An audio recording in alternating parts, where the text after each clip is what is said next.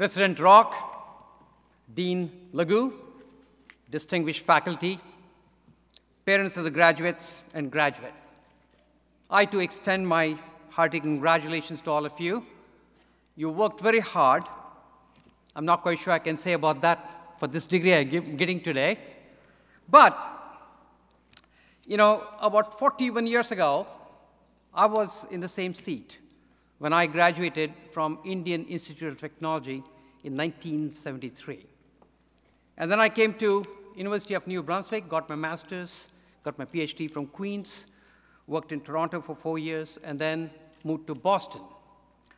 In Boston, I pursued an entrepreneurial career and founded several companies.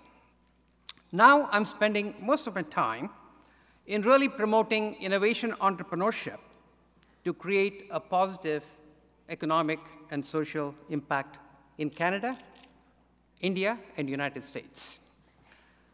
And this is what I want to talk to you about. You know, the world that we live in today is very different than it was 41 years ago when I graduated. Today, we live in a world which is globally very connected, which means value creation can happen anywhere by anybody. As a result, the changes you will see during the next five decades of your career will be dramatic and exponential. And each one of these changes will be led by an entrepreneur, will be led by somebody. And I hope that each one of you will lead one of these changes to make this a better world. As you know, the world faces many challenges. We need to feed 7 billion people. We need clean water and air. We need energy. We need healthcare. We need to educate billions of people. And we need to do all these in a way so that we do not destroy the environment in the process. The challenge is daunting. However, I see so much zeal and enthusiasm and compassion in the young people today that I feel very encouraged that you will solve these problems. Because solutions to these problems will not be one big solution. It'll be thousands of contextualized solutions for different parts of the world. So I want all of you to realize how special you are and how well positioned you are to solve these problems and lead a successful and fulfilling life. You understand technology. You are blessed to live in a country like Canada that has excellent natural resources, a culture of hard work, and more than anything else, compassion, compassion for the humanity.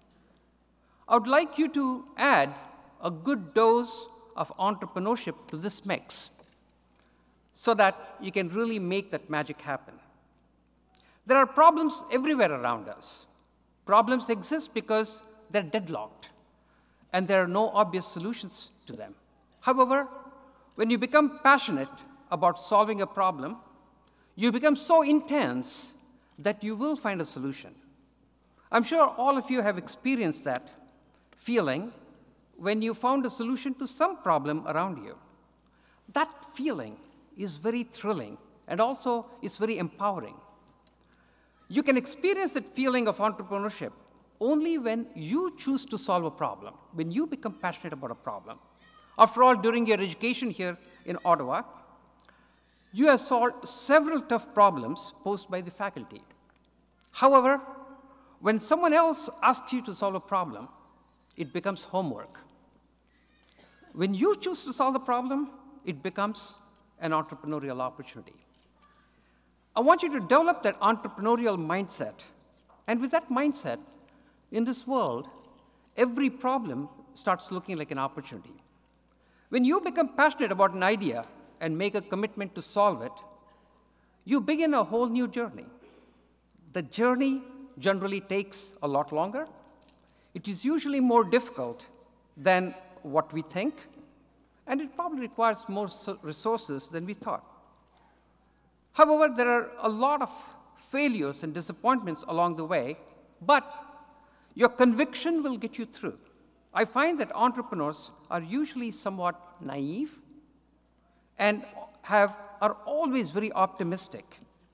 These are two great qualities, being naive and being optimistic, to actually become a good entrepreneur. Because the bigger the challenge, the less certain the path is to get there. You have to cross hundreds of bridges to actually make something happen in this world. But it is very hard to know all the bridges that you need to cross when you start the journey. As a result, just ability to plan does not enable you to start an entrepreneurial journey.